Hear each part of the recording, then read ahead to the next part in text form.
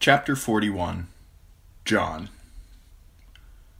You are as hopeless as any boys I have ever trained, Sir Alliser Thorne announced when they had all assembled in the yard. Your hands were made for manure shovels, not for swords, and if it were up to me, the lot of you would be set to herding swine. But last night I was told that Gearin is marching five new boys up the King's Road. One or two may even be worth the price of piss. To make room for them, I have decided to pass eight of you on to the Lord Commander to do with as he will. He called out the names one by one. Toad, Stonehead, Aurochs, Lover, Pimple, Monkey, Ser Loon, Last, he looked at Jon. and the Bastard. Pip let fly a whoop and thrust his sword into the air. Sir Alliser fixed him with a reptile stare. They will call you men of the night's watch now. But you are bigger fools than the mummer's monkey here if you believe that. You are boys still, green and stinking of summer, and when the winter comes you will die like flies. And with that, Sir Alliser Thorne took his leave of them. The other boys gathered around the eight who had been named, laughing and cursing and offering congratulations. Halder smacked Toad on the butt with the flat of his sword and shouted, Toad of the Night's Watch! Yelling that a black brother needed a horse, Pip leapt onto Grenn's shoulders, and they tumbled to the ground, rolling and punching and hooting. Dareon dashed inside the armory and returned with a skin of sour red.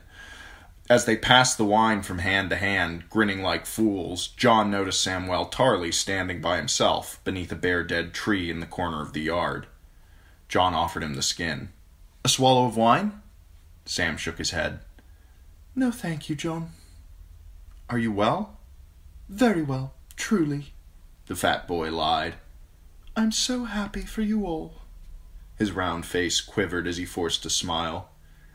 You will be first ranger some day, just as your uncle was. Is, Jon corrected. He would not accept that Benjen Stark was dead. Before he could say any more, Halder cried, Hey, you planning to drink that all yourself? Pip snatched the skin from his hand and danced away, laughing. While Grenn seized his arm, Pip gave the skin a squeeze, and a thin stream of red squirted Jon in the face. Halder howled in protest at the good waste of wine. At the waste of good wine, Jon sputtered and struggled. Matthar and Jeren climbed the wall and began pelting them all with snowballs.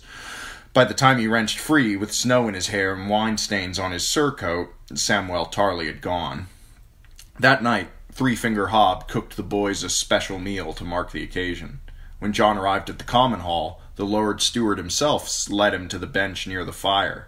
The older men clapped him on the arm in passing. The eight soon to be brothers feasted on a rack of lamb, baked in a crust of garlic and herbs, garnished with sprigs of mint and surrounded by mashed yellow turnips swimming in butter. From the Lord Commander's own table, Bowen Marsh told them. There were salads of spinach and chickpeas and turnip greens, and afterward bowls of iced blueberries and sweet cream. You think they'll keep us together? Pip wondered as they gorged themselves happily. Toad made a face. I hope not. I'm sick of looking at those ears of yours. Oh, said Pip. listen to the crow call the raven black. You're certain to be a ranger, Toad. They'll want you as far from the castle as they can. If Mance Rayder attacks, lift your visor and show your face, and he'll run off screaming. Everyone laughed but Grenn. I hope I'm a ranger. Yeah, you and everyone else, said Matthar. Every man who wore the black walked the wall, and every man was expected to take up steel in its defense. But the Rangers were the true fighting heart of the Night's Watch. It was they who dared ride beyond the wall, sweeping through the haunted forest and the icy mountains west of the Shadow Tower, fighting wildlings and giants and monstrous snow bears.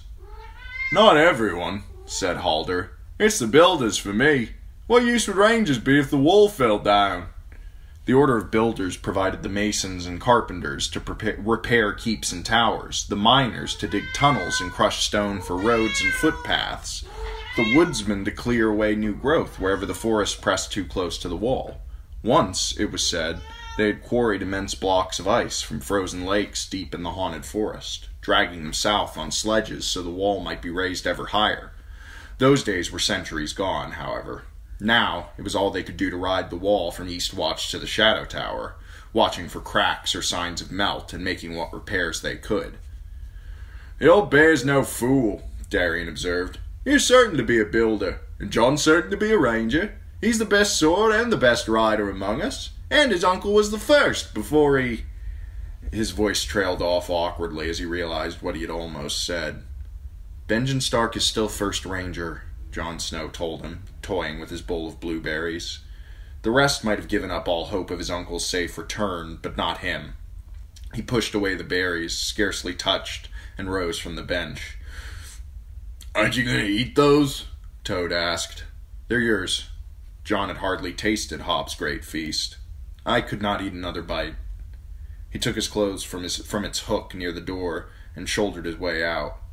Pip followed him. Jon, what is it? Sam, he admitted. He was not at table tonight. It's not like him to miss a meal, Pip said thoughtfully.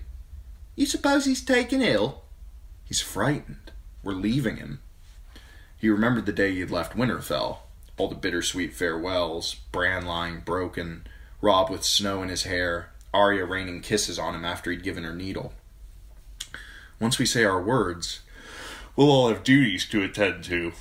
Some of us may be sent away to Eastwatch or the Shadow Tower. Sam will remain in training with the likes of Rast and Cuger and these new boys who are coming up the King's Road. Gods only know what they'll be like, but you can bet Sir Alliser will send them against him, first chance he gets. Pip made a grimace.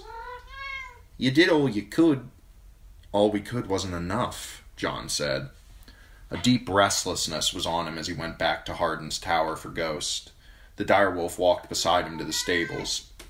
Some of the more skittish horses kicked at their stalls and laid back their ears as they entered.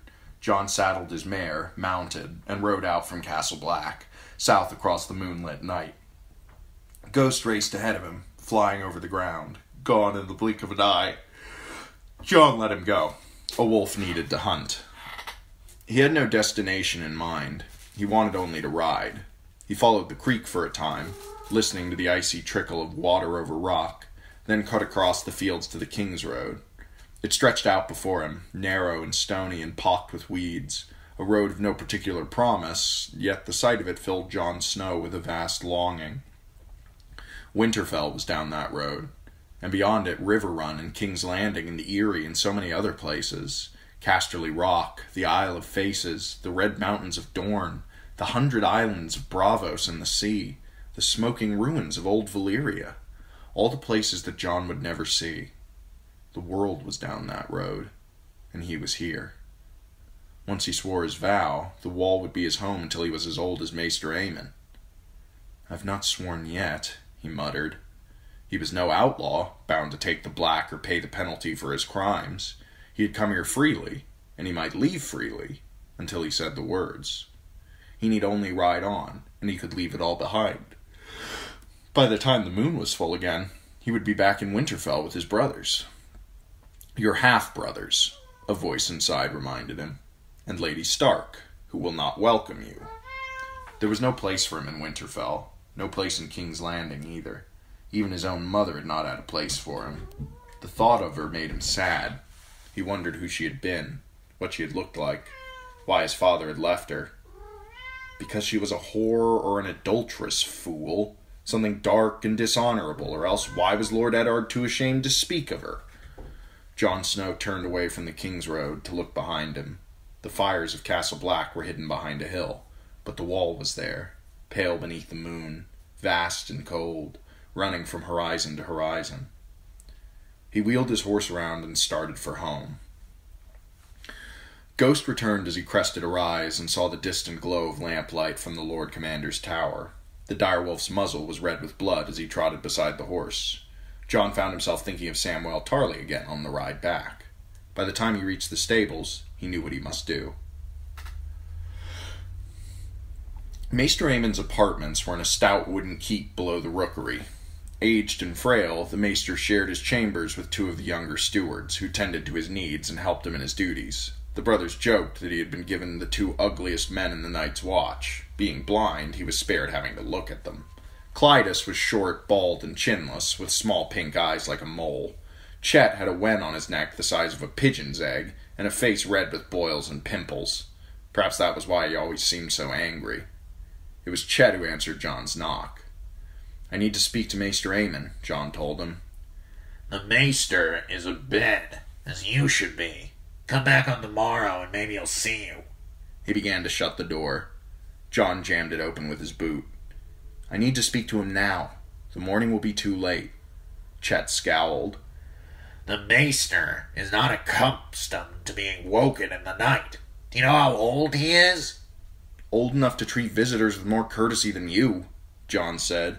Give him my pardons. I would not disturb his rest if it were not important. And if I refuse? Jon had his boot wedged solidly in the door. I can stand here all night if I must. The black brother made a disgusted noise and opened the door to admit him. Wait in the library. There's wood. Start a fire. I want the maester catching a chill on account of you. Jon had the logs crackling merrily by the time Chet let in Maester Aemon. The old man was clad in his bedrobe, but around his throat was the chain collar of his order. A maester did not remove it even to sleep. The chair beside the fire would be pleasant, he said when he felt the warmth on his face. When he was settled comfortably, Chet covered his legs with a fur and went to stand by the door. I'm sorry to have woken you, Maester, Jon Snow said. You did not wake me, Maester Aemon replied. I find I need less sleep as I grow older, and I'm grown very old. I often spend half the night with ghosts, remembering times fifty years past as if they were yesterday. The mystery of a midnight visitor is a welcome diversion. So tell me, Jon Snow, why have you come calling at this strange hour? To ask that Samwell Tarly be taken from training and accepted as a brother of the Night's Watch. This is no concern of Maester Aemon, Chet complained. Our Lord Commander has given the training of recruits into the hands of Sir Alliser Thorne, the Maester said gently. Only he may say when a boy is ready to swear his vow, as you surely know. Why then come to me? The Lord Commander listens to you, Jon told him and the wounded and the sick of the night's watch are in your charge. And is your friend Samwell wounded or sick? He will be, Jon promised, unless you help. He told them all of it, even the part where he'd set Ghost at Rast's throat. Maester Aemon listened silently, blind eyes fixed on the fire, but Chet's face darkened with each word. Without us to keep him safe, Sam will have no chance, Jon finished. He's hopeless with a sword. My sister Arya could tear him apart, and she's not yet ten. If Sir Alliser makes him fight, it's only a matter of time before he's hurt or killed. Chet could stand no more. I've seen this fat boy in the common hall, he said. He is a pig, and a hopeless craven as well, if what you say is true. Maybe it is so, Maester Aemon said. Tell me, Chet, what would you have us do with such a boy? Leave him where he is, Chet said. The wall is no place for the weak. Let him train until he is ready, no matter how many years that takes. Sir Alliser shall make a man of him or kill him as the gods will. That's stupid, Jon said. He took a deep breath to gather his thoughts. I remember once I asked Maester Luwin why he wore a chain around his throat. Maester Aemon touched his own collar lightly, his bony, wrinkled fingers stroking the heavy metal links. Go on. He told me that a maester's collar is made of a chain to remind him that he is sworn to serve, Jon said, remembering. I asked why each link was a different metal. A silver chain would look much finer with his gray robes, I said. Maester Luwin laughed. A maester forges his chain with study, he told me. The different metals are each a different kind of learning gold for the study of money and accounts, silver for healing, iron for warcraft, and he said there were other meanings as well. A collar is supposed to remind a maester of the realm he serves. Isn't that so? Lords are gold and knights steel, but two links can't make a chain. You also need silver and iron and lead, tin and copper and bronze and all the rest. And those are farmers and smiths and merchants and the like. A chain needs all sorts of metals, and a land needs all sorts of people. Maester Aemon smiled. And so? The Night's Watch needs all sorts too. Why else have rangers and stewards and builders? Lord Randyll couldn't make Sam a warrior, and Sir Alliser won't either. You can't hammer tin into iron no matter how hard you beat it. But that doesn't mean Tim is useless. Tin is useless. Why shouldn't Sam be a steward? Chet gave an angry scowl. I'm a steward. You think it's easy work? Fit for cowards? The Order of Stewards keeps the watch alive. We hunt and farm, tend the horses, milk the cows, gather firewood, cook the meals. Who do you think makes your clothing? Who brings up supplies from the south? The stewards. Maester Aemon was gentler. Is your friend a hunter? He hates hunting, Jon had to admit. Can he plow a field? The maester asked. Can he drive a wagon or sail a ship? Could he butcher a cow? No. Chet gave a nasty laugh. I've seen what happens to soft lordlings when they're put to work. Send them to churning butter and their hands blister and bleed. Give them an axe to split logs and they cut off their own foot. I know one thing Sam could do better than anyone. Yes? Maester Aemon prompted. Jon glanced warily at Chet, standing beside the door, his boils red and angry. He could help you, he said quickly. He can do sums, and he knows how to read and write. I know Chet can't read, and Clydas has weak eyes. Sam read every book in his father's library. He'd be good with the ravens, too. Animals seem to like him. Ghost took to him straight off. There's a lot he could do besides fighting. The Night's Watch needs every man. Why kill one to no end? Make use of him instead. Maester Aemon closed his eyes, and for a brief moment Jon was afraid that he had gone to sleep. Finally, he said, Maester Luwin taught you well, Jon Snow. Your mind is as deft as your blade, it would seem. Does that mean. It means I shall think on what you have said, the Maester said firmly. And now, I believe I am ready to sleep. Chet, show our young brother to the door.